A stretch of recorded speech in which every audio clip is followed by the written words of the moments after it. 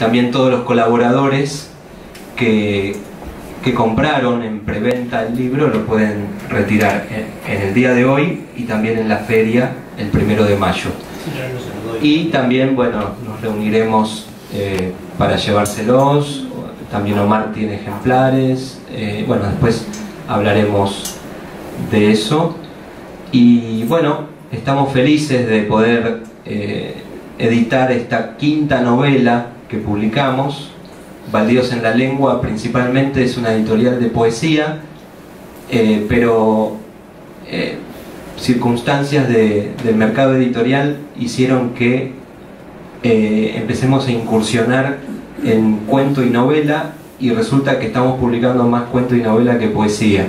Así que bueno, parece que los autores, el público están queriendo leer un poco de ficción eh, en prosa, así que eh, bueno, estamos felices también por, por este, este, este escenario nuevo que se nos presenta.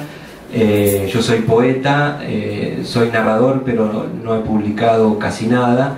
Tengo siete libros de poesía publicados y bueno, no es una de mis especialidades, pero nos, nos estamos este, formando para, para poder acompañar a los narradores que, estamos conociendo. Hace poco presentamos también un libro de cuentos de Sandra Gasparini y de Hernán Vergara, eh, que también se va a presentar en la feria el 4 de mayo. Así que, bueno, bienvenidos a todos eh, y vamos a escuchar a los comentaristas del libro. Eh, tenemos a Vicente Batista y a Ariel Bermani. No sé quién de los dos quería. Escuchamos entonces a Vicente Batista.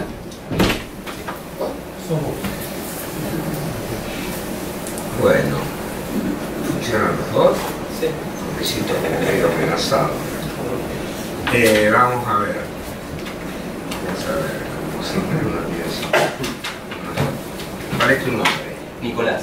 Nicolás le contó un poco eh, quién es el, Omar Ramos, lo que publicó y premios y traducciones y demás. Yo a Omar lo conozco cuando era un niño y ya le interesaba la literatura.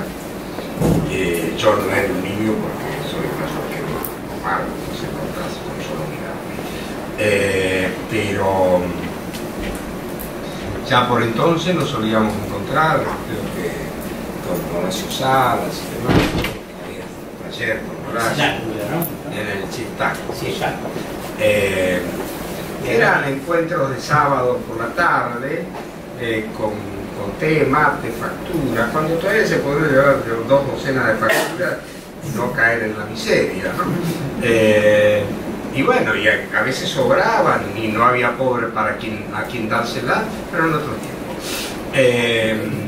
Y ahí nos encontramos de 3 a 7 u 8 de la tarde, noche, y discutíamos, hablábamos de literatura y todas esas cosas que hacen un montón de desocupados escritores los sábados a la tarde. Eh, ahí lo conocí a Omar, y entonces, Diste charlas en el colegio de abogados. déjame que yo diga. Está lleno de abogados. Bueno, como está lleno de abogados, di charlas en el colegio de abogados, es más, es más. eh, en el- como a mí me interesa el género policial, porque me gusta y porque escribo policiales, además de las novelas pero policiales, eh, incluso eh, en, alguna, en alguna nota eh, me pregunté por qué eh, los personajes. Adelante, yo puedo empezar otra vez. Los personajes de. Los personajes de las novelas policiales, los héroes de los policiales, ustedes recuerdan que generalmente son o detective privado, o comisario, o, doctor, puede ser médico forense, o periodista, hay muchos periodistas, no encontramos abogados que se dediquen a transitar por las novelas policiales. Eh, bueno, y es una, una pregunta que uno se hace de movida, porque justamente los abogados que trabajan, algunos son tan delincuentes como los delincuentes que representan, eh, y bueno, entonces conocen de cerca eso.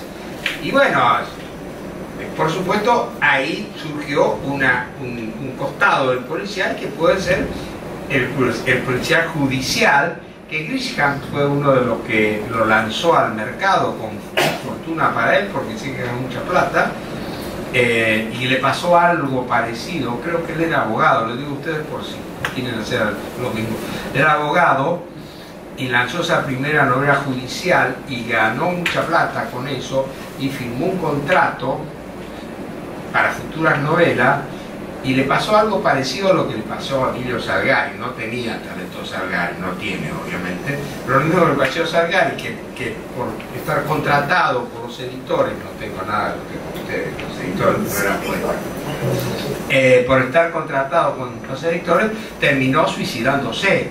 Salgari, que era famosísimo, pero que no cobraba un centavo, una lira, supone. Y le dejó una célebre carta a sus editores diciendo que por lo menos de los derechos que le deben sirvan para pagar su funeral, que no le cobren, no le cobren la, el, el, velorio, el entierro, como se llame eso, a la familia. Eh, Grisham no llegó al suicidio, pero se vio en la necesidad de terminar ese contrato para escribir lo que él tenía ganas de escribir, porque si no, tenía que seguir, sí, no si no, siguió publicando novelas judiciales. El antecedente de todo eso, con mucho mayor calidad, creo, a mi humilde criterio de Grisham, es Perry Mason, ¿no? Stanley Hanner, creo que es el autor de Perry Mason. Bueno, bueno, ahora nos fuimos al policial todo por culpa tuya, porque me dijiste que aquí había, yo estaba con mi libreta. Cada vez hay más. Bueno, volvemos a la carrera. Eh, yo decía que eh, le estaba contando de cómo lo conocía Omar y cómo nos empezamos a tratar y sobre todo a leer, no siempre, pero nos leíamos. Eh, y entonces acá vos hablaste de eh, que es cierto, es cierto, vos que sos poeta, eh, Omar, él es tímido, eh, pero empezó siendo poeta. Y hay un poemario tuyo que se llama Migración de un sueño, que está editado en 1988.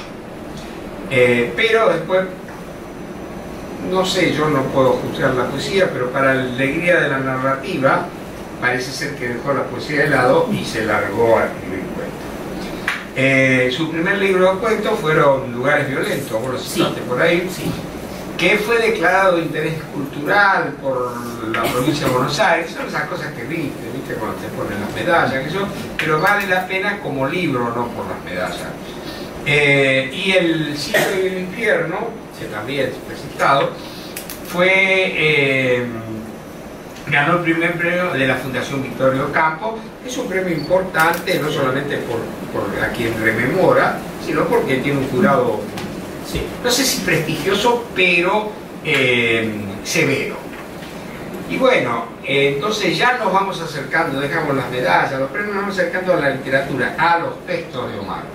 Y ahí yo me quiero detener en los cuentos y en algo que alguna vez dijo alguien que de cuento, además de escribirlos maravillosamente bien, además de eso, de cuento sabía muchísimo. Es decir, que su opinión, es una opinión que hay que tenerla en cuenta, porque valga la redundancia, era un gran cuentista. Y me refiero a Isidro Blanstein.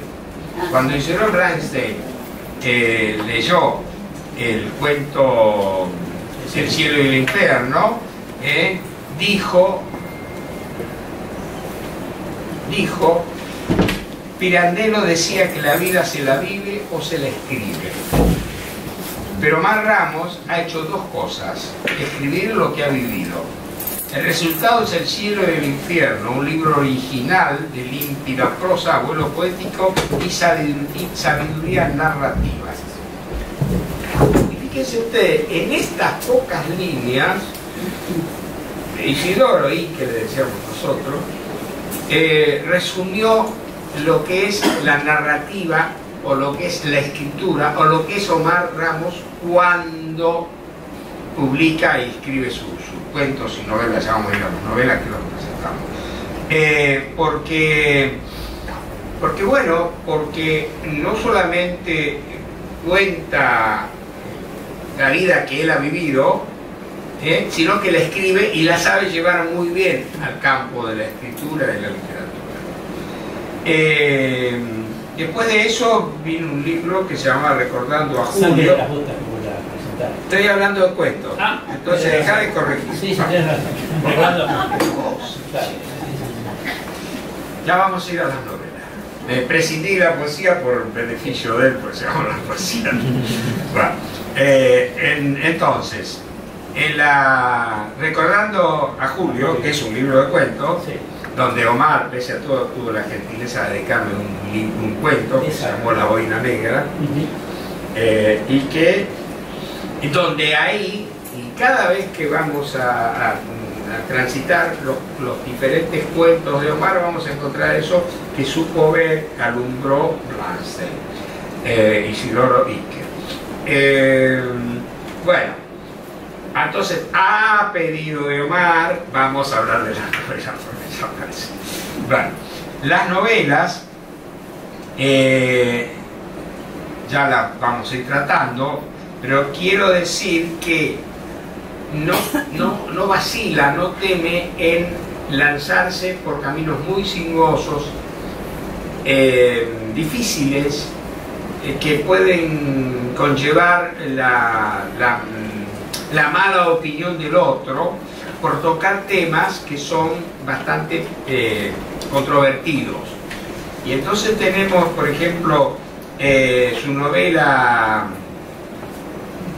su novela, Sangre decime. Sangre la bota.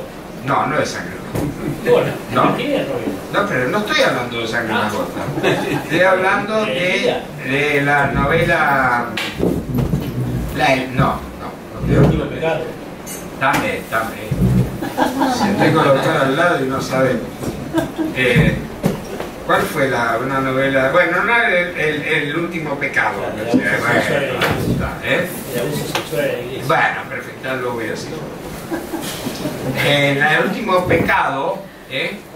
Eh, Omar eh, se mete en, como decía, en un tema muy cabroso y es nada más ni nada menos que la pedofilia en los estamentos más altos de la Sagrada Iglesia Cristiana Católica Romana. Eh, no contento con eso, ¿no? ya después de haber molestado a, a la- a las autoridades, no contentos con eso, después vino sí otra novela, que es La elegida, ¿no? Sí, sí. Que es la historia de la, elige- de- de- elegida, subtítulo, historia de la hija de Jesús y María Magdalena, que bueno, no es necesario que explique nada, a partir de ahí vemos que está transgrediendo una serie de, de enseñanzas históricas para poner a, a ser padre a Jesús. ¿no?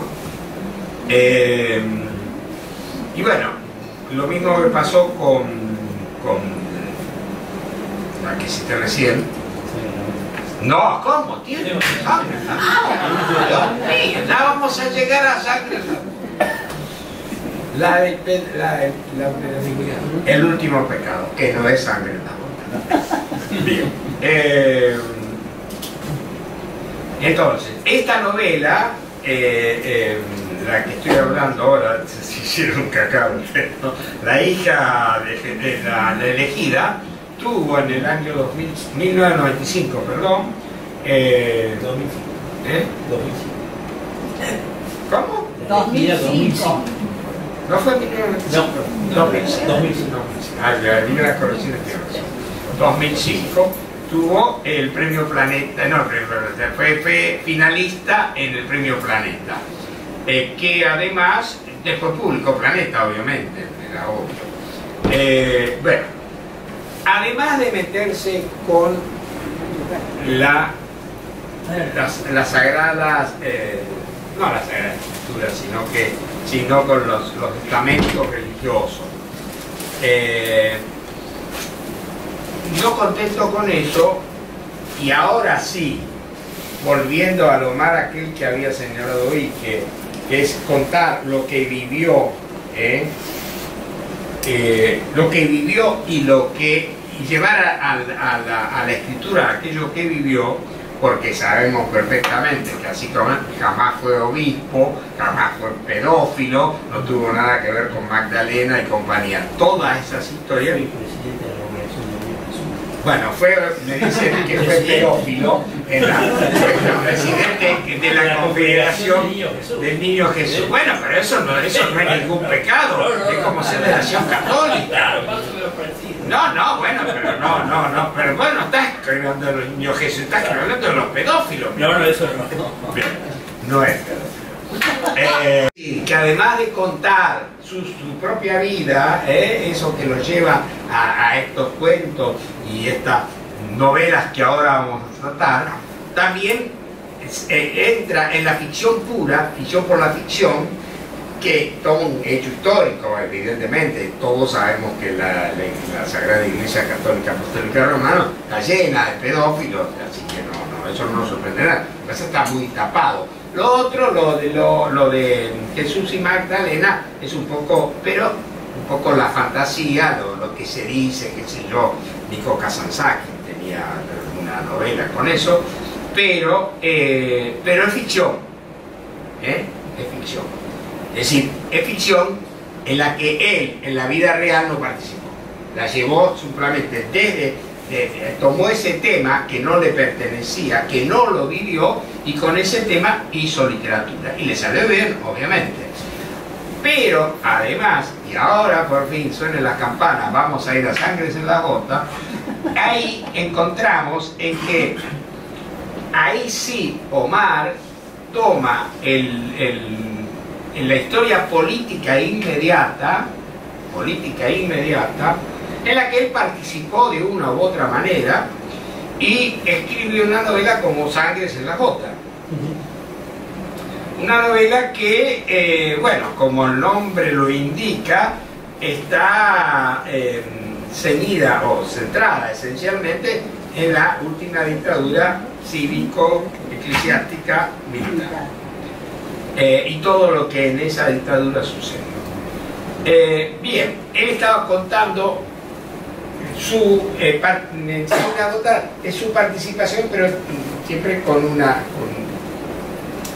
con, una, digamos, un distanciamiento, el distanciamiento de la narración. Todo esto nos lleva por fin a la novela que ahora estamos presentando, que es el dolor de la ausencia. El dolor que el, el, el, baldío la lengua. Es un lindo título el nombre en la lengua. Está bien, es muy poético, pero muy lindo.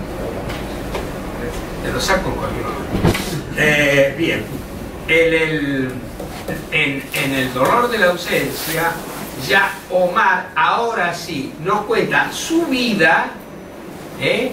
su vida y hace con esa vida, con su propia vida, por más que lo nieguen, eh, hace literatura. ¿eh? Y entonces eh, inicia una, una, una, narración, una historia en la que van entremezclando personajes del pasado reciente y doloroso de la dictadura y demás, incluso pre a la dictadura, y, eh, y se, va, se va acercando a la, hasta este presente. Eh, el personaje principal, el que de alguna manera lleva la narración, es Ignacio. Ignacio que a todas vistas es Omar, creo. Aunque no es pedófilo ni, eh, ni pertenece a la asociación de eso. Que era Ignacio es, más, es menos intelectual, digamos. Bueno, es, por eso, es menos intelectual, sí, es Omar. Ahora, en fin. ¿Qué me importa que sea intelectual? No, Yo lo que te estoy diciendo es que es Omar porque, porque vive lo que supongo que vos eso sí. vivís. Bueno, entonces de eso se trata. Bien. Que conoce a una muchacha que se llama María Cecilia, que, que, que, que, se encuentran, no se encuentran, se aman, no se aman, hasta que finalmente, bueno, tienen hijos, todas las cosas las que hacen las parejas de hoy en día y de siempre. Eh,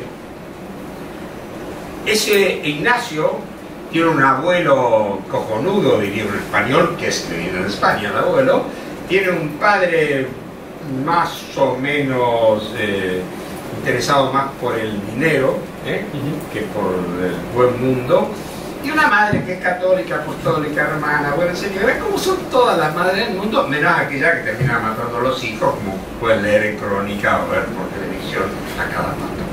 No, a cada rato, no, pero Ama- eh, eh, Omar tiene, Ignacio en este caso, tiene amigos de la niñez, un primo entrañable, qué sé yo, y con todo eso va armando una historia en la que también, donde casualmente Ignacio es, empieza a estudiar Derecho, y después se convierte en un abogado, es meritorio, se llama meritorio. Era meritorio. ¿Eh? Era meritorio. Meritorio, claro. Eh, entonces, y ahí conoce a un juez, que es Gonzalo Ibáñez, y aparece por ahí un, un oficial de Mateo, ¿cómo se llama el oficial de justicia? No, un oficial un ayudante. Mateo se llama. No, Bueno, ahí está el oficial primero. ¿Cómo se llama? Esto es un juzgado. pero ¿cómo se llama? eh, no recuerdo ahora. Hace tanto que la escribí. Y si es un juzgado. ¿no? Es un juzgado. La novela de él, es un juzgado. Es un juzgado penal. Es un juzgado penal, se van acercando ahora. Bueno, el- bueno, el- el- ese señor que, que- es otro personaje, que no es un personaje menor, porque claro, ahí están los personajes, si bien están planteados y no se puede plantear de otra manera en una novela que llega a las Es una novela a, una, a 131 páginas, eh, no se puede pedir otra cosa que presente arquetipos, ¿no? El, el- el juez González Ibáñez es un arquetipo de esos jueces que están primero con uno, con otro, es una especie de, de canalla como, eh, los, tantos que hay en este mundo. Eh, pero bien vestido, con hijos y eh, seguramente sociólogo. Eh, Ignacio primero está, digamos, no, no logra meterse del todo en política hasta que va entrando. Y todo eso mm, es, bueno, la historia de Ignacio, que de alguna manera es la historia de Omar Ramos, y acá viene lo que me, a mí me interesa, porque contado así, bueno, mira, me estás contando una biografía. no, es interesante cómo Omar armó la novela, porque la novela se va, eh, no tiene un, un tiempo correlativo, sino que hay, hay historias que pasan antes y después, casi, casi como eh, pequeños flashes, ¿eh? Donde pasa esto, pasa aquello, y cre- creo incluso que le has puesto un título, sí. Cada capítulo sé, sí.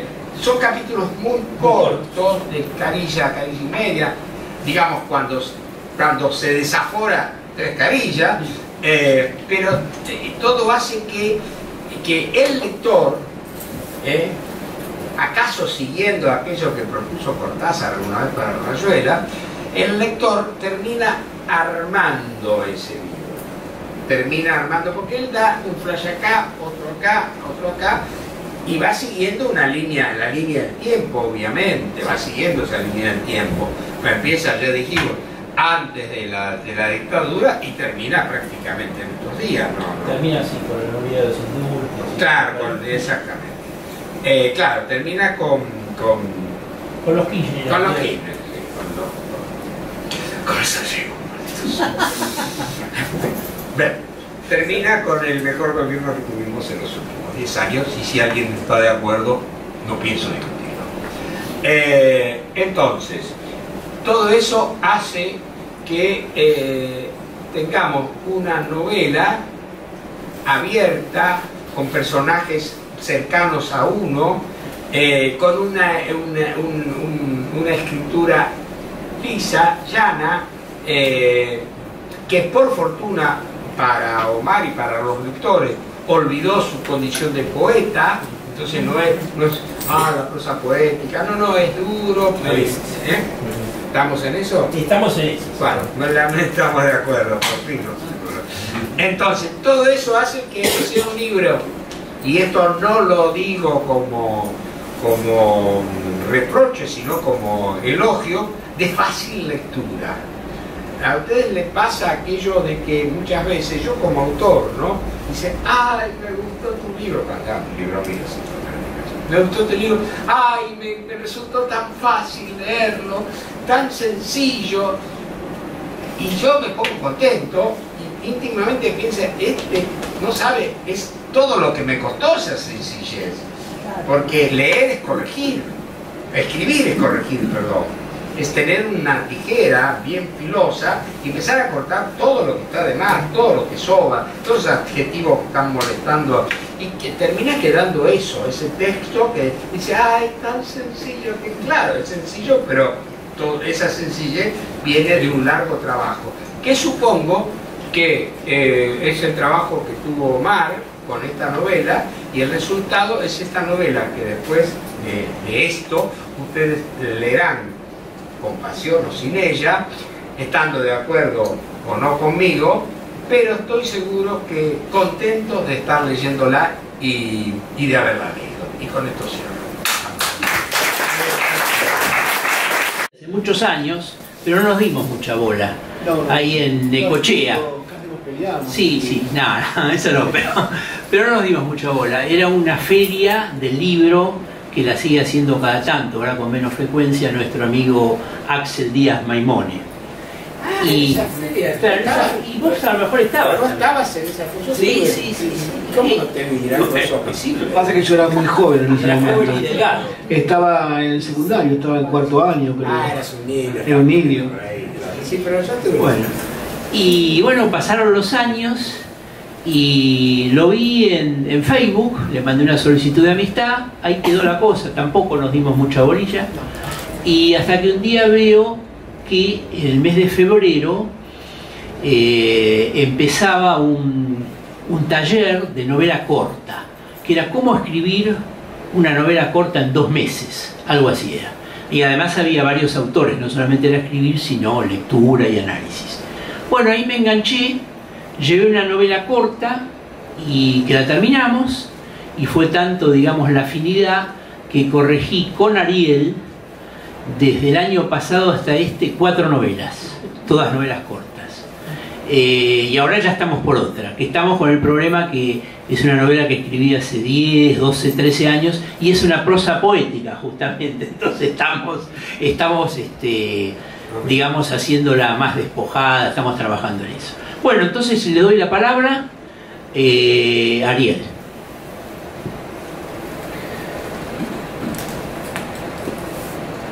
Eh, bien ahí, ¿no? ¿Se escucha? Sí. Sí, pasaron muchos años de lo de Cochea, realmente. Sí, tenía pelo. También estuvo ahí. Medía un metro ochenta por aquella época. Sí, yo en ese momento era, practicaba triatlón ¿Qué hacía? Era un deportista que hacía teatro. No se imprime más prácticamente.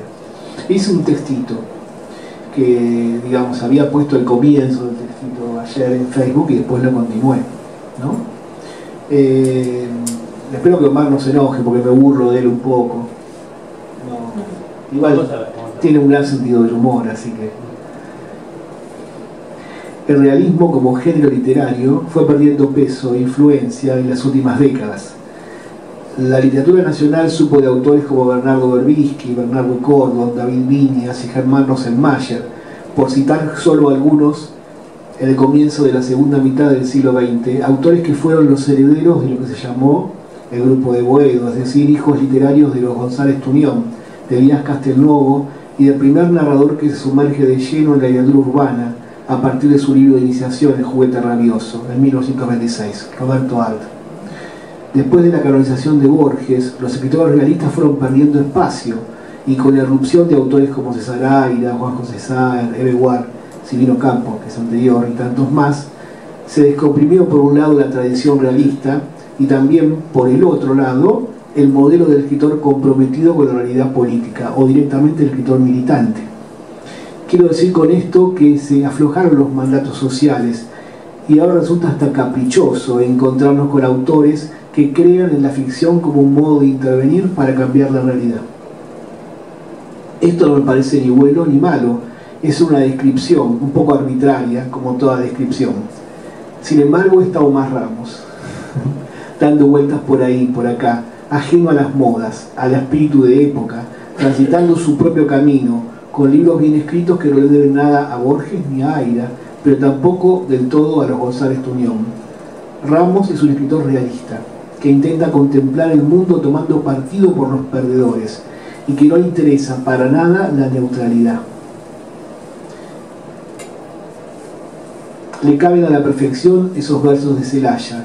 Maldigo la poesía de que lo toma partido, partido hasta mancharse. Ramos es un animal literario. Escribe y corrige todo el día. Parece que no le interesara otra cosa. Ni su profesión de abogado, ni la vida social, incluso a riesgo, ni las mujeres. O sea que ya no le dan bola.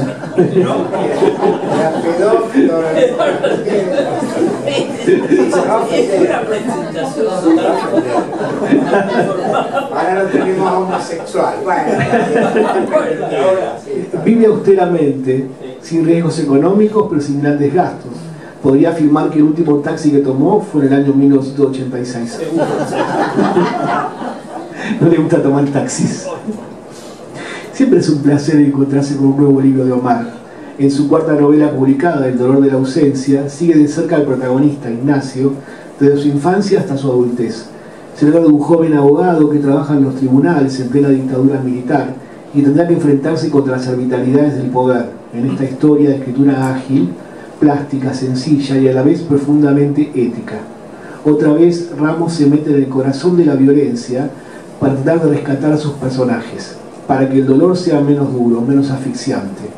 Como escribió Vicente Batista en encontrar para esta novela, el joven Ignacio Guidi, meritorio en un juzgado penal, será quien marcará el camino, señalará los senderos de una historia que se lee con ese interés y esa devoción que suelen despertar los mejores textos policiales. No voy a entrar en detalles acerca de la trama, ya se encontrarán ustedes sumergidos en esta historia, con una sensación de ansiedad, con ganas de que todo se resuelva a favor de los personajes. Solo una cosa más quiero decir. En una época de pocas certezas y ideologías, pautorizadas, Omar Ramos apuesta valores sólidos en cada uno de sus libros, herramientas para cambiar el mundo. Gracias.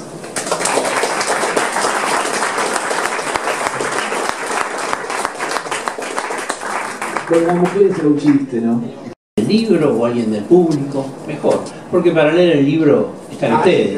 ¿no? Lo van a leer. Yo me voy a aburrir si lo leo, lo leí tantas veces que... Pero pueden preguntarse. Una cosita, ¿cómo se hace para comprar el libro? Bien, lo pueden comprar en Mercado Libre, llega en 72 horas a cualquier punto del país. También lo pueden comprar aquí en la presentación, acá afuera va a estar la mesa de libros. Eh, yo voy a hacer la entrega a los que lo compraron en la preventa. Eh, se acercan, voy a estar por acá. Y también se puede conseguir en la librería del Centro Cultural de la Cooperación, acá abajo. Y próximamente vamos a estar llegando a diferentes librerías de Avenida Corrientes, Palermo, San Isidro, eh, Belgrano también. Estamos realizando una distribución de la novela, así que bueno, se van a ir enterando a través de Facebook, a través de Omar eh, y a través también de cadenas de mails que vamos, vamos a lanzar campañas eh, para difundir esto. Así que, bueno, y en la Feria del Libro también, en el stand de Mendoza, eh, del 13, no, perdón, del 26 al 13 de, del 26 de abril al 13 de mayo. Así que bueno, de a poco estamos este, creciendo en cuanto editorial. El año pasado publicamos un libro por mes aproximadamente. Eh, este año ya, este es el segundo libro que publicamos. Tenemos otros dos más que están por salir esta semana y tenemos ya este, eh, otros tres libros que van a salir antes de julio. Así que bueno, eh, continuamos trabajando y creciendo eh, con Valdios en la Lengua.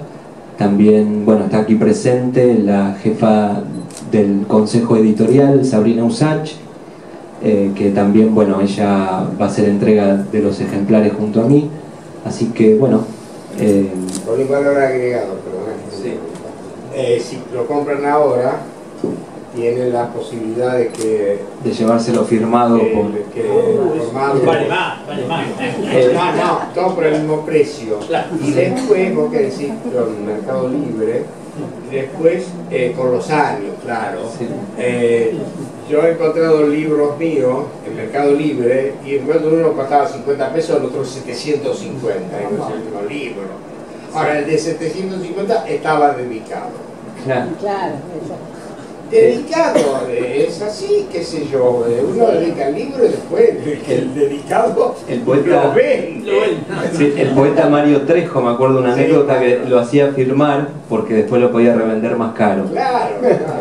Y mirá, yo me acuerdo hace muchísimos años en la feria de Montevideo, no sé si estará todavía la, la vaca narvaja, una cosa, una, una, una Narvaja. se llamaba, ¿no? Tristán Narvaja. Tristán Narvaja, eso.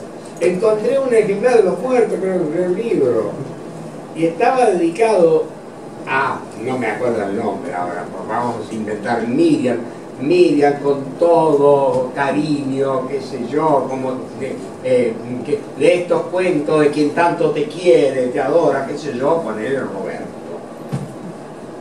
Y cuando me encontré con el libro, digo, evidentemente Miriam y Roberto se han peleado. Lo primero que hizo Miriam fue vender el libro, regalándose varios. O se pudo haber muerto Miriam. Yo me encontré con gente que, que le dediqué el libro y se murió después. Después los herederos lo vendieron. Y por ahí aparece dedicado. Pero bueno, él no se va a morir, ustedes No, no, tampoco. espero que no. ¿Haría alguna pregunta? Eh, en realidad estaría bueno que vos dijeras algo en tu presentación. Sí, Sería lindo escuchar un rato. Es lo que se estira. Y para eso vinimos. claro. Es que se Bueno, primero claro. quiero agradecer a todos aquellos que compraron el libro en la preventa, porque gracias a eso el libro se publicó, dadas las circunstancias actuales.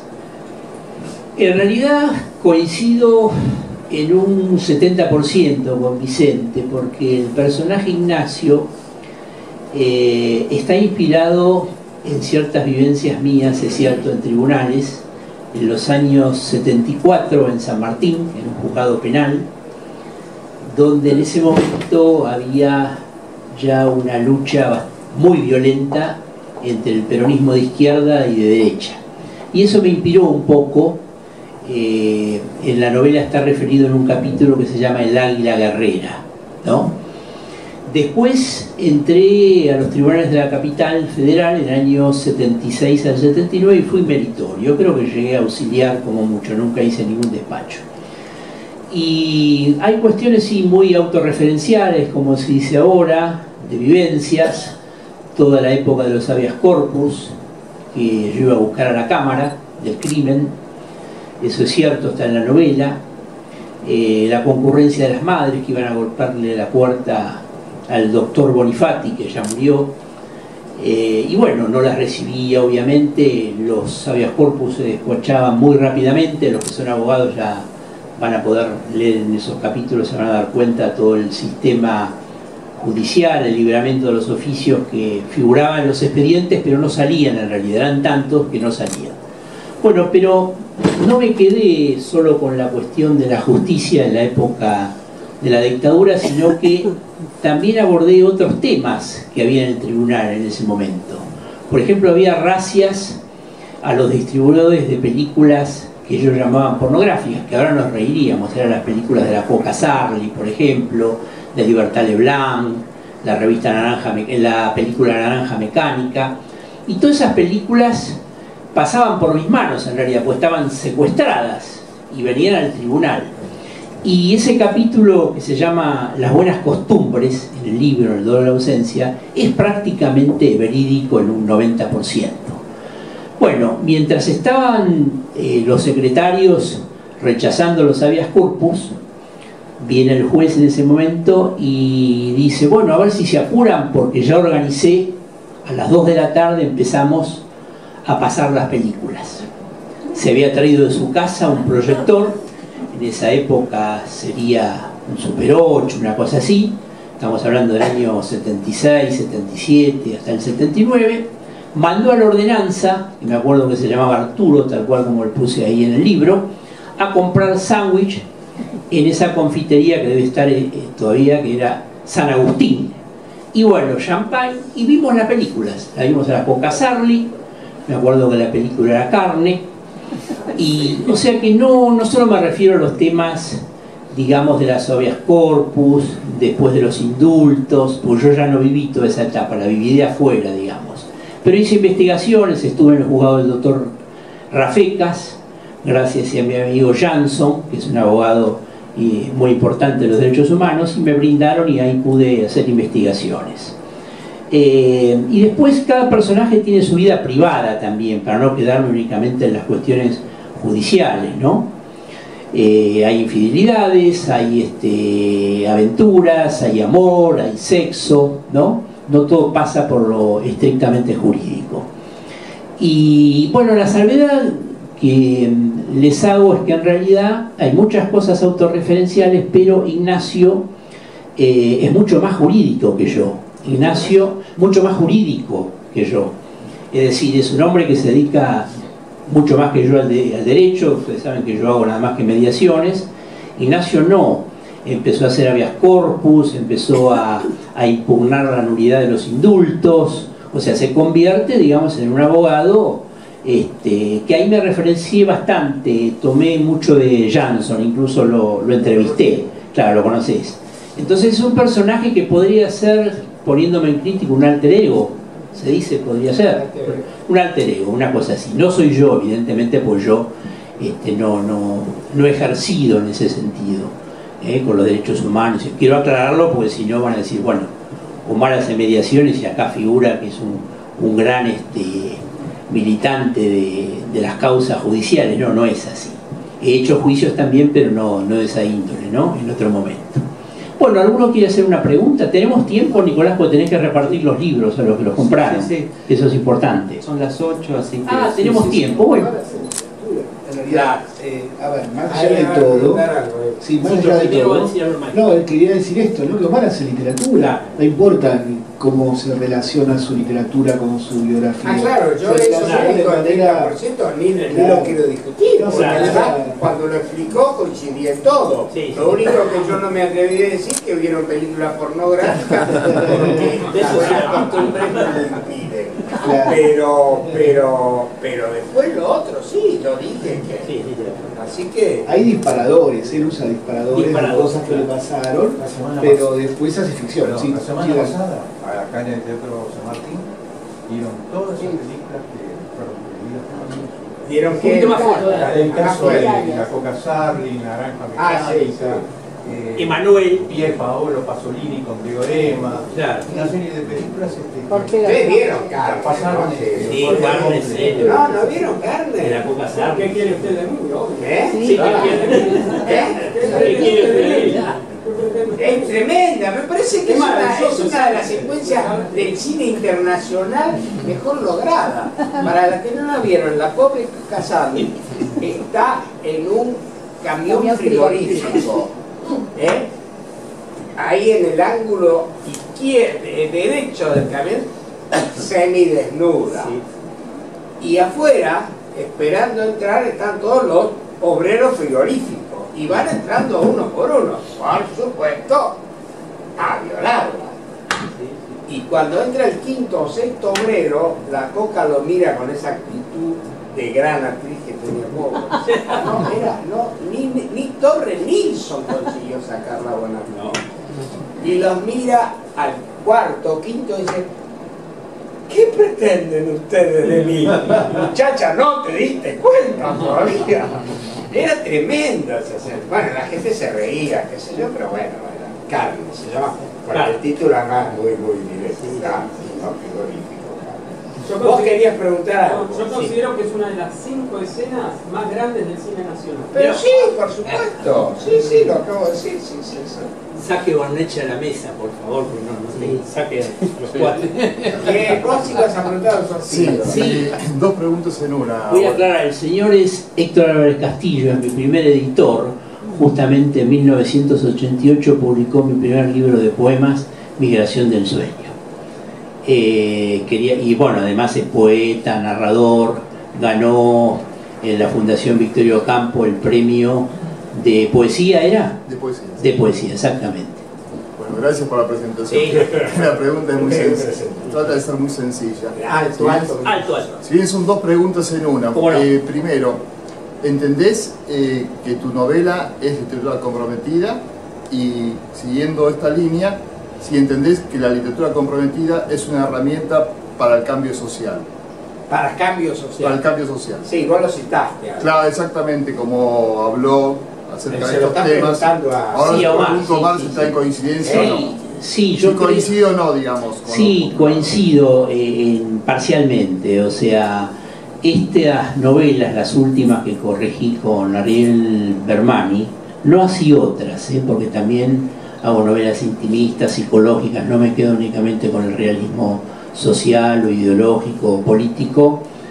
Eh, yo creo que sí, son comprometidas. Lo que pasa es que se compromete mucho más, por ejemplo, mi hijo o el amigo que está al lado, que ellos militan. Bueno, pero no escriben. Claro. Bueno, no escriben, pero- no, no, Bueno, claro, quiero- es un compromiso, sí, pero yo creo que es más importante otro tipo de compromiso, de la acción, ¿no? Más que el literario.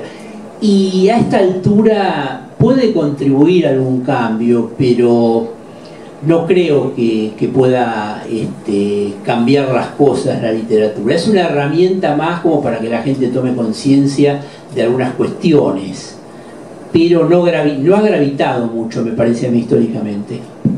¿Me permitís? Eh, mirá, hace muchos años, vos eras un chico, vos, vos que de coche andaba. Yo ya, ya era. Eh, Sartre, que sabía mucho de compromiso, uno de nuestros libros de, cama- de cabecera de Sartre era qué es la literatura y había todo un capítulo o varios capítulos dedicados al compromiso. Pero Sartre llegó a decir algo que yo comparto. Sartre dijo, la náusea ante un niño que se muere de hambre no tiene ningún sentido. Y eso es lo que hay que tener en claro. Nosotros como escritores, muchos estamos comprometidos, otros estamos casados, todo es historia, pero no pasa por ahí la literatura. Porque vos citaste a Boedo, y Boedo significó mucho para la literatura argentina, pero cuando uno, y Boedo era teóricamente la literatura revolucionaria, la revolución en literatura, en tanto que Florida era la literatura burguesa de niño bien pretencioso y engrupido. ¿Estamos? Sin embargo, ahora con el correr de los años, vemos que tipos que uno respetaba y respeta, como Leónidas Barletta o Elías Castelnuovo, hoy son ilegibles realmente. Y esa misma gente, no, no, no Barletta, pero sí Castelnuovo, le rechazó a Roberto Ar, el juguete rabioso, diciendo que entonces llamaba La vida puerta, una cosa así. Suerte que Giralde le, le dio un buen título. Eh, diciendo que no era una novela, era una novela burguesa, no era comprometida, qué sé yo. Estaba diciendo una barbaridad. Porque Roberto Ar es uno de los referentes más importantes de nuestra escritura. Entonces, cuando hablamos de compromiso, yo no sé hasta dónde llegamos con compromiso, pero cuando yo pienso que un escritor burgués como Jorge Luis Borges sigue siendo el escritor más revolucionario que tiene la literatura argentina, aunque era de derecha, aunque tenía... Es un escritor revolucionario. Yo cuando leo eh, viaje al fin de la noche de Céline, estoy le- leyendo una novela que además es una novela formidable como novela histórica, política en la Segunda Guerra Mundial. Sin embargo, Céline fue un colaboracionista de los nazis. Entonces, esas cosas se nos empieza a mezclar y entonces por el hecho de levantar una bandera, yo soy comprometido, sí, pero sos un pésimo escritor. Entonces yo, como estoy hablando desde la literatura, a mí me va a parecer comprometida aquella literatura que me movilice, ¿eh? más allá de quien la escrita. Hace muchos años yo estaba dando una charla, hace muchos años, hablando sobre, con unos italianos. Y en un momento ya dije, claro, porque ya estaba hablando del compromiso, y una, no me puedo decir un una mujer, no importa. Me dijo, sí, pero ¿sabe lo que pasa? El Dante, en 1200, era, según ese escritorio, un escritor de derecha. La Divina Comedia es una obra que revoluciona, aparte del idioma, pone el idioma italiano en movimiento, son unas obras universales. Pero el Dante, según ese criterio, era un escritor de derecha. Por eso hay que cuidarse muy mucho y por suerte, y por suerte, esto eh, se acabó en nuestros años mozos, nos, eh, nos decían, bueno, eso no es literatura comprometida. Teníamos mucho el estalinismo y toda esa historia. Eso se acabó y ahora estamos hablando de la buena y mala literatura. Sí, suscribo totalmente lo que dice Vicente, totalmente, en un 100%. Bueno, les agradezco muchísimo la presencia. oh, Una pregunta, Beatriz. Pues yo quiero que se lleven los libros, si no la gente... Claro, Esto es una estafa, como dice mi amigo Daniel Barros, que el libro no salía, no salía. Bueno, pero yo ya pagué, me decía Yo también, yo también ya la pagué, pero justamente quiero saber si vos como meritorio en esas épocas en que te iniciaste Sí. prácticamente mientras tú ya eras abogado. No, no, no, estaba en segundo año en esa época. Estabas estudiando, bueno. O segundo, Si tuviste tercero. contacto con algunos de los padres que llevaban esos habeas corpus, que sus hijos habían desaparecido misteriosamente y ellos los buscaban sin saber que ya había empezado el terrorismo de Estado con todas las víctimas que se cobró luego. Todo esto eran los inicios, me imagino. ¿Tuviste contacto alguna vez con los padres? Con los que Bueno, eh, tengo una experiencia muy personal con un tío abuelo mío que había desaparecido, un tío segundo, Héctor que está acá se acuerda, Ibaldo, que era un hombre semi-intelectual y había desaparecido. Entonces, estando yo de meritorio, lo pongo, está cambiado, como diría... En la novela está, pero está cambiado, ¿no? Está ficcionalizado, como bien dice Ariel Berman. Entonces yo hice el habeas corpus sin que se enteraran en el juzgado, ¿eh? Porque el juez estaba muy atento a todo eso, no podía ser colaboracionista. Ese propio juez que también está en la novela nos convocaba cada tanto a mí a Carlito Salum, que después fui muy amigo, que era el meritorio de la otra secretaría, y nos leía la revista Cabildo. Me acuerdo que una vez, una vez nos llama y nos dice, vengan chicos, acá está la verdad. El holocausto es un invento, es un invento de los aliados y de los judíos. Bueno, yo lo contaba a mi padre, y mi padre, que no era un hombre súper progresista, me decía, qué disparate, ¿no? Porque mi papá en ese sentido este, estaba más en la realidad que, que este juez. Bueno, acompañé a mi tío entonces, abuelo, eh, hice yo el habeas corpus, tomé los datos de algunos de los que estaban en la secretaría, pues yo no tenía experiencia en esa cuestión, lo presentamos en la Cámara, salió soltado un juzgado y afortunadamente mi primo segundo apareció. Apareció, bueno, lo interrogaron, fue también torturado, pero apareció con vida. Con respecto a las madres, yo las tranquilizaba porque el juez no las quería recibir, ni siquiera podía abrir la puerta de la secretaría. Pero bueno, este, algunas en algún momento, sobre todo ya en el 79, pudieron en la mesa de entradas, no adentro, abogados saben, en la mesa de entrada, que era una tablita bien chiquita que sigue siendo ahora los juzgados penales, los civiles son un poquito más grandes, ratificaban ahí la denuncia. Y contaban, aunque no las escuchaban, contaban, bueno, toda la desgracia, la tragedia que habían vivido, ¿no? Sí, esto está en un capítulo que se llama Habeas Corpus, la sentencia, está bastante, está, tomado de la realidad y bueno, pero es literatura.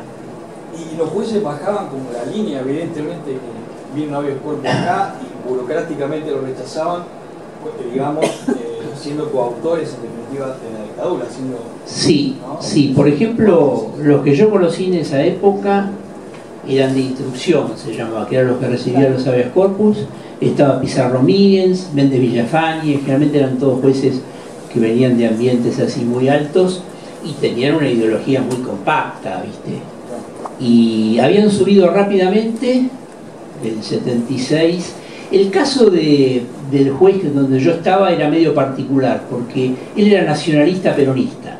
Entonces se pudo acomodar no solo con los militares, sino anteriormente se pudo acomodar con, con el peronismo también, con ese peronismo, digamos, claro. Y bueno, sí, sí, a él ahí fue juez de instrucción y después con los militares pasó a juez federal.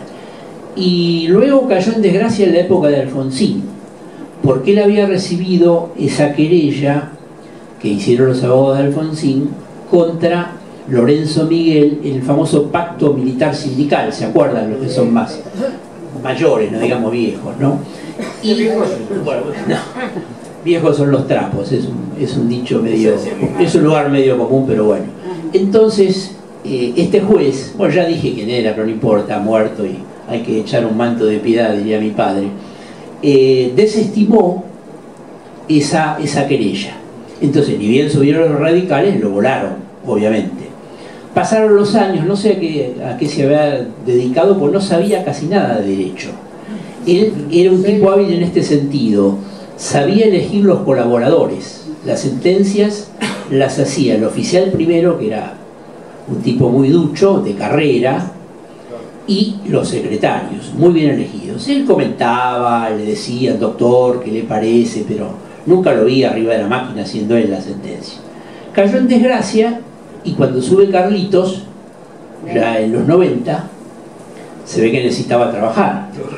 Claro, eso no está en la novela, les cuento así como anecdóticamente. Lo nombran camarista civil. Yo se lo conté el otro día a una doctora, la doctora Teresita Quintana, que ha tenido la oportunidad de venir, con las cuales tenemos diferencias, pero es muy respetuosa y es una amiga, es una especialista en derecho de familia que había venido acá. Le conté, ¿qué hizo este juez? Porque no sabía nada, de hecho sabía poco de penal, que había sido, y de civil no sabía nada. Contrató una abogada, no sé si ustedes se acuerdan, salió todo. Contrató una abogada que le hacía las sentencias. Se descubrió esta cuestión, le empezaron a hacer el juicio político, se deprimió muchísimo. Yo todo esto lo sé porque mi amigo de la otra secretaría había entrado gracias a que el papá era amigo del juez. ¿Cómo decían? Sí, jugaban al tenis juntos en el Belgrano Athletic. Y bueno, con ese chico me hice muy amigo hasta el día de hoy, hace 30 años que vive en Estados Unidos, pero viene seguido y nos acordamos de toda esa época y demás. Entonces, el juicio político lo agobió tanto que lamentablemente le agarró un infarto y murió. Y murió. Eh, eh, vos citaste Cabildo, tengo, ya ahora lo dejo claro. Eh, tengo una, algo que hizo Cabildo hace muchos años. Tengo todavía ese ejemplar guardado, pues un ejemplar histórico, que se ocupó la gente de Cabildo de hacer un largo listado, eran páginas y páginas y páginas, de todos aquellos artistas, intelectuales, escritores, que eran comunistas. Había más comunistas que, Gente. y, va, por supuesto yo era comunista, sigo siéndolo, pero en ese momento estaba en la lista. Y explicaban por qué. Eh, y bueno, fue tan grande el escándalo, tan grande, que cuando salió, inmediatamente, todos aquellos que no estaban en la lista hicieron una especie de carta abierta que por favor los pusieran en la lista. Habían dejado un buen número de intelectuales y artistas que no tenían el derecho a pertenecer a, porque ahí estaban todos, ¿eh? estaba el pintor Carlos Alonso, qué sé yo, no me acuerdo, pero todo, eh, te buscabas y si no estabas, no estabas en el campo del arte, porque Cabildo te había ignorado. Me pareció genial, sí, y tengo la revista guardada como un recuerdo. Bueno, Bolsonaro dijo que ¿Eh? Bolsonaro dijo que los nazis, Ah, claro, es que que los sí, nazis sí, son de bueno. izquierda. Pero Bolsonaro es tan tierno. Bueno, ahora sí vamos a proceder a la entrega de los libros, me parece. Eh, y bueno, les agradezco una vez más la concurrencia y esperemos vernos en próximos presentaciones de novelas. dijiste que tenés cuatro o cinco novelas. Y sí, sí, tengo cinco. Acá el amigo Bermani me va a ayudar a ver dónde las podemos publicar y a lo mejor alguna gente literaria que está presente.